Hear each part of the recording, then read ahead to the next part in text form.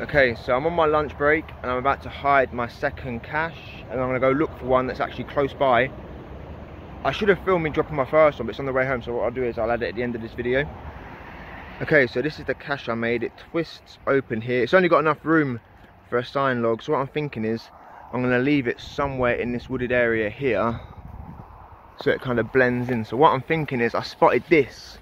So what I'm thinking is if we just hook that on there kind of blends in you've got your little leaf. I think that's good there. Okay so I'm walking along the side of the road. The first clue I've been given is there's a visible gap that you can walk down which will take you to a secluded area where there is no muggles. And then once we find there we need to find a trample down where it says there's been dead roses but don't go too far in the bush because rose bushes hurt I think I've found it. Yeah, this is definitely it, isn't it? So my only issue is I've not got, well, I haven't got another camera with me, so I can't check for ground zero with the app. So what I'm gonna have to do is keep jumping from filming to this, filming to this. But don't worry guys, in the next video, I'll have a camera so we won't be jumping back and forth. Okay, so I'm at ground zero. I've been stood here for a while. There's a guy cutting the grass just over there and I didn't realise what I was looking at but I've just spotted it. I believe this is it. Yes. This is it. Let's open this baby up. Okay so because I've only got this camera and no stand I couldn't film me opening it but this is a long list of names. I've signed it and dated it. We'll roll that back up. And then what we've got to do is just pop it back in this tube pop the cap back in and put it back where we found it Alright, back you go little buddy.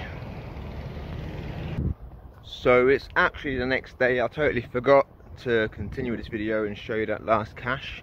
So I'm on my lunch break, again, it's 31 degrees, as you can see from this picture I'm about to show.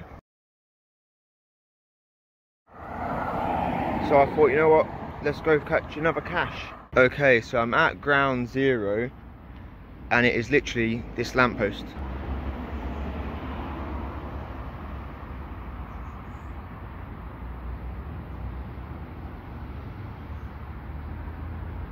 Okay, so the first thing I checked was these railings.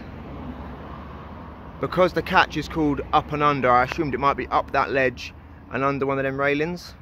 It wasn't there. So the next thing I checked was in this groove. Oh, nearly fell down. All the way along here. And once again, it wasn't in there. So I was a bit stumped at this point. I walked a bit along down here and noticed this metal opening. And once again it wasn't in there. And then I spotted this. Now this is where it was hidden. I'm gonna play the footage of how I found this now.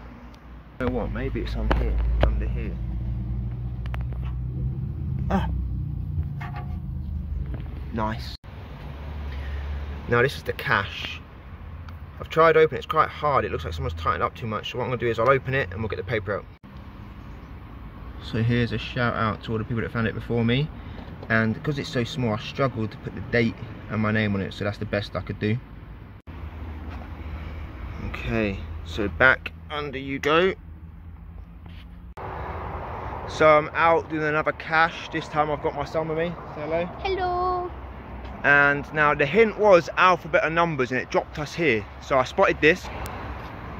So that's an alphabet and a number. And if you come down here and look down there's this. And this is the cache. So we've now signed the log. It's time to put it back in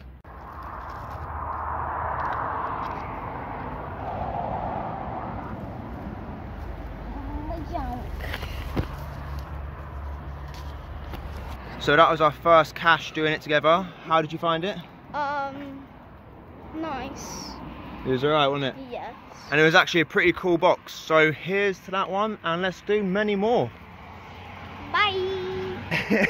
this is the only way I can get the camera angle in. Alright, so I'm out with Toby again, doing another cache.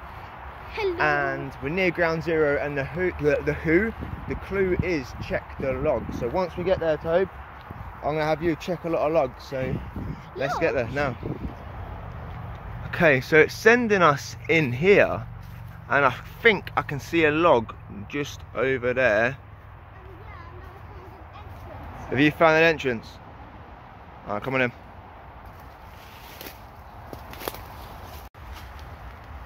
Okay, so this log's at ground zero. Oh, dude, dude, dude, I found it.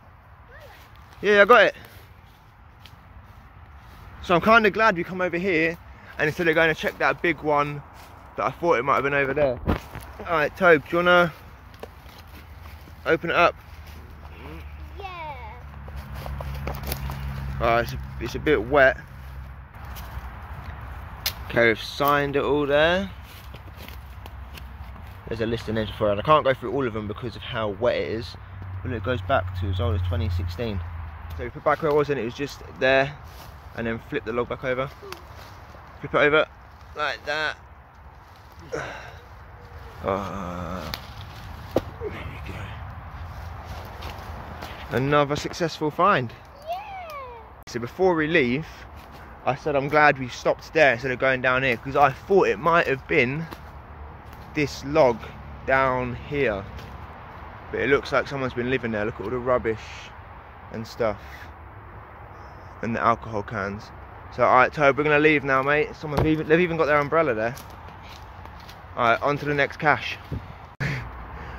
okay, so I'd like to add one last thing, Tobe. You know how I walked all the way through the woods to get there? Yeah. we could have literally just took this step here